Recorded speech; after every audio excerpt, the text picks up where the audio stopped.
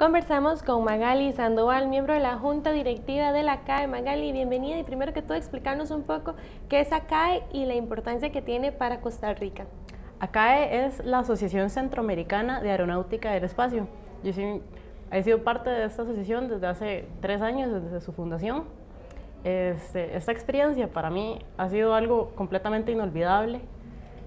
Hemos conocido a personas de todo el mundo, conocido personas de África, de Europa, de todas partes de América y hemos tenido la oportunidad de discutir sobre diversos temas, tanto para exponer a Costa Rica como el gran país que es, como un líder en tecnología, como un líder en educación y en paz, tanto como para aprender de las experiencias de los otros participantes.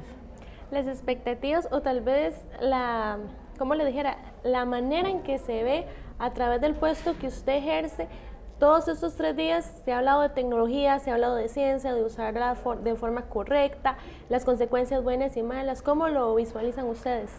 Bueno, en el campo de las ciencias aeroespaciales en el país dependemos mucho de las tecnologías de información y dependemos mucho de las actividades de voluntariado de jóvenes.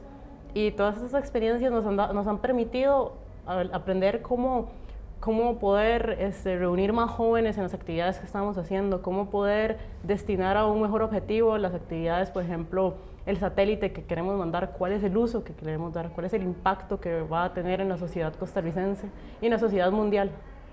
Costa Rica se está dando mucho a conocer, prácticamente como lo decías ahora, el líder en el tema de telecomunicaciones, ciencia, tecnología, incluso los niños desde muy cortas edades y prácticamente casi todo el país tienen acceso a Internet. ¿Qué le queda ahora en el futuro a Costa Rica a partir de mañana después de esta cumbre que finalizaría hoy?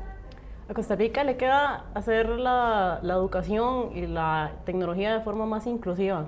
Hemos llegado a bastantes zonas del país, sin embargo todavía quedan zonas más alejadas tenemos que equiparar los niveles también. La educación en el área metropolitana no es la misma educación en las áreas más alejadas del país. Sé que es algo que estamos trabajándose y que lo vamos a lograr con total perfección. Ahora Costa Rica, el mundo tal vez no la vea igual después de estos tres días donde fuimos prácticamente la atención y en temas tecnológicos que cualquiera pensaría que son temas que se desarrollan mucho tal vez en Europa, Estados Unidos, pero sin embargo también Costa Rica es cuna de esto. De verdad que, ese comentario es bastante importante, ya que ya tenemos aquí personas de hasta 40 países distintos que estoy segura que venían aquí con incertidumbre de qué es Costa Rica, qué es este país tan chiquito, y van a salir totalmente impactados con una opinión de lo que de verdad es Costa Rica.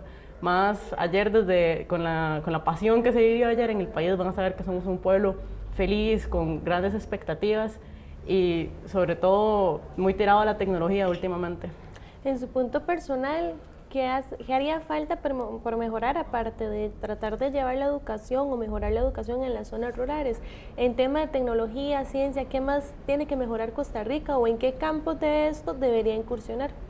Costa Rica, para, para salir adelante, a criterio personal, me parece que debería invertir en ciencia y en tecnología invertir en, jóvenes que estudian carreras de ingeniería. Ya hay bastantes abogados, ya hay bastantes médicos. Queremos que hayan más ingenieros y más científicos para que haya innovación, para que haya emprendedurismo. De hecho, me llama mucho la atención porque las carreras relacionadas a ciencia y tecnología, por lo general, uno le pregunta a un joven que va a entrar a la universidad y muy poco la menciona. ¿Cómo promover tal vez dentro de los colegios para que estos muchachos se inclinen por esta carrera?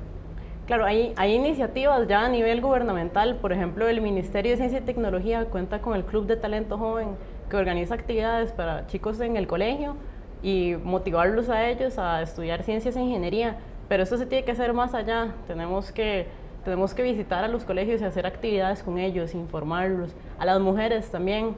Yo soy estudiante de ingeniería mecatrónica y las cantidades de mujeres que hay en mi carrera son tan poquitas y uno, uno desearía que estuviéramos más involucradas. Entonces yo creo que es más ir lugar a lugar con ejemplos, haciendo actividades y demostrarle que esto es divertido y que vale la pena. Precisamente, ¿verdad? Las mujeres en el campo de la ciencia y tecnología como que todavía les da miedo o no sé si sería una cuestión de machismo. ¿Cómo, cómo lo personaliza usted ya que usted está dentro de este campo?